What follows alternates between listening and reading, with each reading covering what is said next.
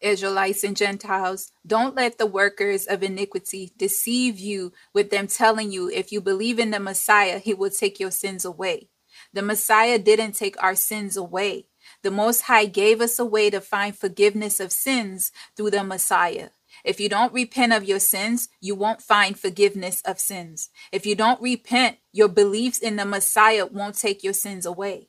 There's a lot of people who won't repent of their sins because the spirit of pride won't allow them to humble themselves.